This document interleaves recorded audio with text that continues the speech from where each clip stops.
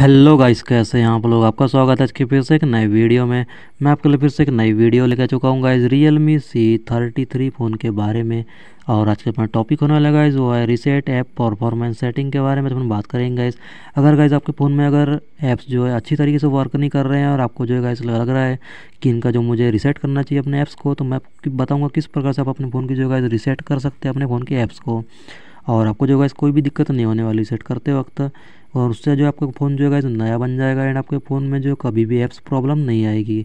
जैसे गैस आपको आती होगी अभी, जब आपका फ़ोन अगर पुराना हो गया है तो काफ़ी प्रॉब्लम आती है इसकी ऐप आपके वर्क नहीं करते हैं चलते चलते बंद हो जाते हैं। तो आप उसको किस प्रकार से रिसेट कर सकते हैं, मैं आपको बताऊँगा आज की वीडियो में। चलिए गैस बात करते हैं। बात करने से पहले आप हमारी वीडियो को लाइक कर लीजिए एंड चैनल पर नए सब्सक्राइब कर लीजिए एंड बेल के आइकन को प्रेस कर लीजिए। अपन चलते फ़ोन की सेटिंग में गए और बात करते हैं आज के टॉपिक के बारे में। सिंपली अपन देखिएगा चलते सेटिंग में। एंड आपको यहाँ पे देखिएगा सिस्टम का ऑप्शन मिलेगा, आप इस पर क्लिक करेंगे। एंड आपको यहाँ पे देखिएगा सबसे नीचे में रिसेट ऑप्शन का मिलेगा, आप इस पर क्लिक करेंगे।